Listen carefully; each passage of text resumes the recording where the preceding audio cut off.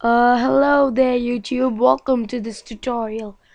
Uh, it's been a while since I've not made a tutorial, I think a week, but I've been doing some recent activity on YouTube, but I never uploaded a tutorial recently. Uh, uh, so let's get, uh, okay, uh, today in GIMP, we're gonna be making uh, some uh, nice looking metal chrome text effect in GIMP, realistic metal chrome text so uh, and uh, before I start the tutorial I want to say that I would also be making a Photoshop version of this tutorial. Yes a Photoshop version of this tutorial just to show that you know GIMP and Photoshop are not that different. Yeah uh, so all those GIMP lovers out there I think uh, you should uh, try Photoshop.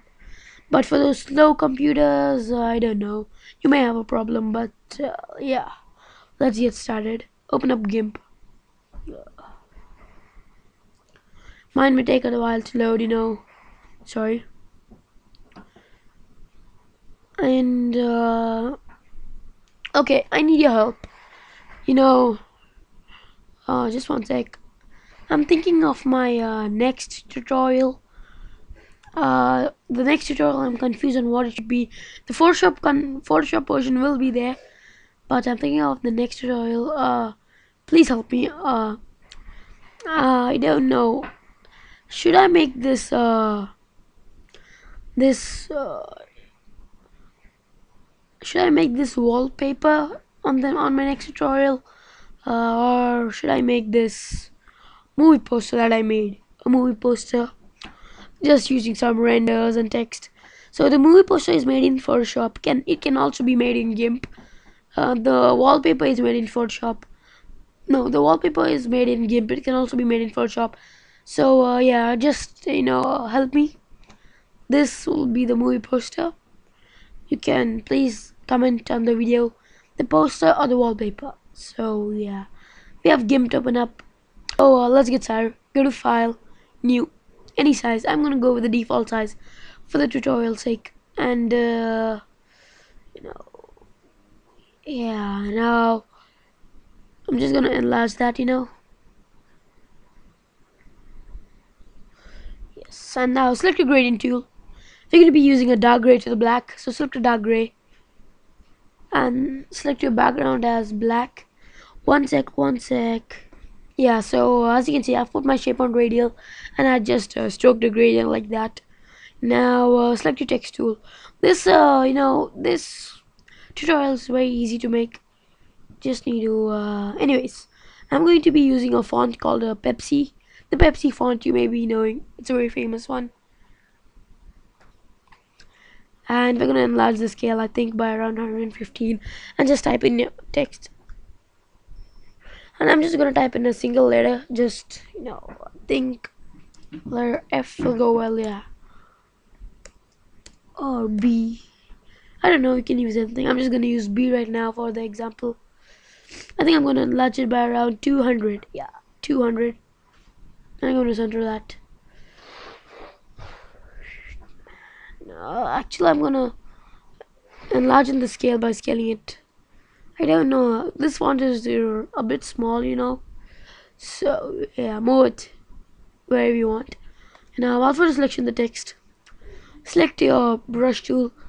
Select a medium fuzzy brush, like uh, the size I have over here, as you can see. Uh, just do what I do. We're gonna stroke. Start with a light gray, and uh, press Shift on your keyboard, so you get this, you know, straight line thing. Just stroke out like that. Just stroke like that. Just click on the line, and then select a darker gray. And do the same. I think we're gonna adjust that.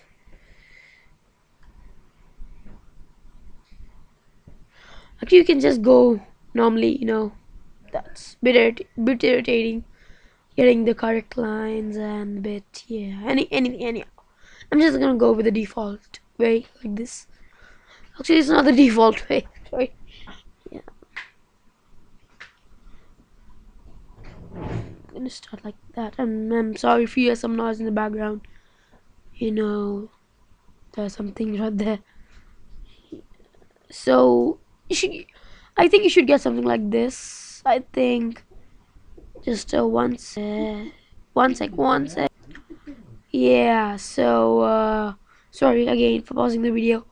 And you should get you can do whatever you want but I'm just okay with this. Now what we're gonna do is make a new layer. You do a select shrink.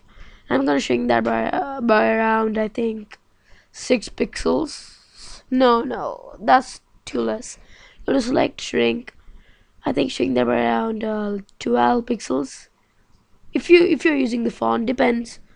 And I'm gonna fill that in with a nice dark a nice dark gray. You select none. And as you can see you get you have your nice looking chrome text. You can go with any background. I'm just gonna go with let's see red. Yeah, it looks good yeah. You can go with any background. Just go with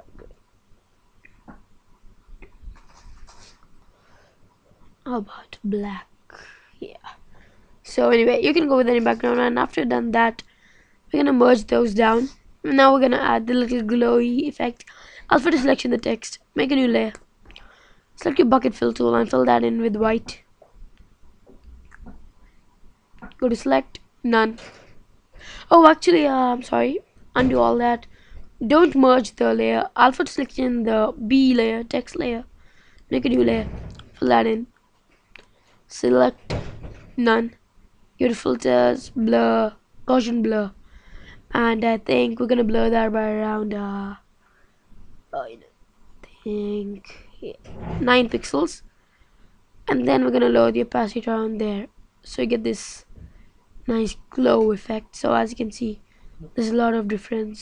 So one sec once yeah so uh, that's how you can make this nice looking metal chrome text in GIMP. And remember I will also be making a GIMP I mean a Photoshop version of this. So for those who want the Photoshop version it'll be up I think by uh, by tomorrow. So yeah. Uh, I'm Punk and thanks for watching the tutorial and have a nice day